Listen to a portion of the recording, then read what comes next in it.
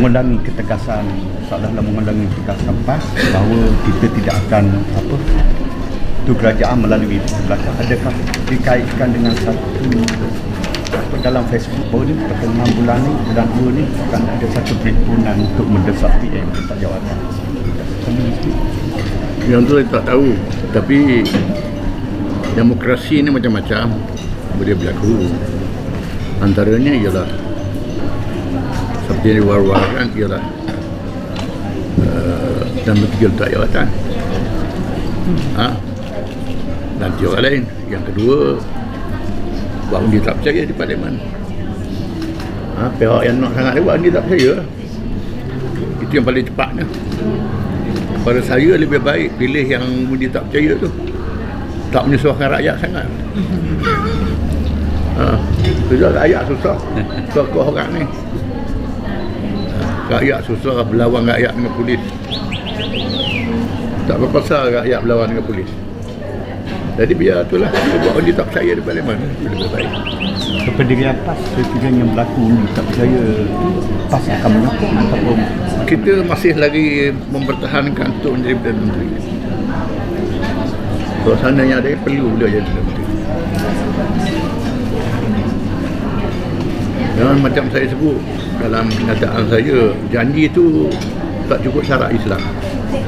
Syarat Islam pun tak cukup, syarat sekular pun tak cukup. Janji yang tidak mulzim. Janji yang tak tak boleh tak. Janji cakap-cakap, cakap-cakap pasal bukan janji yang yang dimeteraikan. So maknanya maknanya sekiranya berlaku ini tidak percaya uh, pada persidangan parlimen. Pendirian PAS yang Ya. pertama mengatakan Mengekalkan sokongan Pak Dutun. Datuk saya tengok bila buat undi tak percaya itu adalah jalan terbaik ke bila banyak banyak sangat desakan untuk Tun turun ni. Sebab kita kena sedar PF menang kerana dia tunjukkan tu jadi ketua pasukan. Orang lain ketua pasukan tak tak berjaya. Ha? Letak orang ni tak berjaya, tak berjaya. Dulu Tukur Zadi 46 tak boleh ubah kerajaan. Syed Anwar pun duduk depan tak berjaya. Dia letak Tun di depan, tiba-tiba ha, jatuh kerajaan berubah. Takkan nak tarik kerajaan. Tak betul lah. Jadi moral, moral demokrasi itu dah salah tak benar. Walaupun ada kita tak setuju dengan kerajaan, tapi pilihan raya dah, dah, dah, dah, dah berlaku. Tapi ada proses demokrasi, proses demokrasi tapi pun dia tak percaya di parlimen. Itu lebih mudah. bila cakap ada undi tak percaya tu kemungkinan untuk PRU ke-15 akan berlaku lebih awal ke? Itu terpulang kepada Perdana Menteri Agong ha, untuk nak, nak berubah kerajaan. Ha, tapi undi tak percaya lebih. Bila undi tak percaya, tak, tak perlu pilihan raya lah.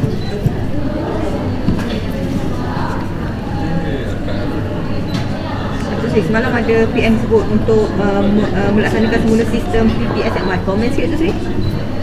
Itu terlalu awal. Sebab tu kenyataan um, satu kenyataan media yang kita tak tahu rasmi atau tak rasmi Nah, sebab tu benda yang berulang. Benda yang berulang. Terutamanya dalam suasana orang nak desak tun berhenti. Macam-macam lah. Berita-berita disiarkan kita kena siasat dulu lah tu Betul je. kadang-kadang tun pun ada dia punya uh, uh, ni, langkah dia sendiri ha, dia buat kenyataan tu nak tengok respon orang macam mana ada itu. saya baca tun ni bukan baca yang tersi- ter- tersurat saja yang tersirat pada juga.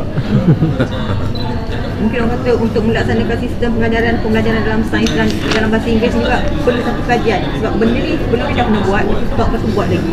Ha, dok, kajian sudah dibuat dan ada hasil kajian rojak mereka kajian itu lah. yang kita dah ada apa namanya penyata apa namanya Rahman Talik apa namanya Tuan Rahmat Yaakob macam-macam tu Razak dulu ha, tu dah ada semua patut dia belajar daripada yang lama lah. Malam G25 ada untuk permohonan maaf daripada Sri selepas menepoi G25 sebagai melakukan proses. Ha. Patutnya dia minta maaf bukan saya. Mereka yang kena minta maaf pada umat Islam. Saya bercakap pihak umat Islam. Betul.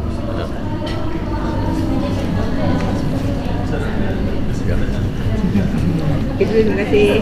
Ya. Masih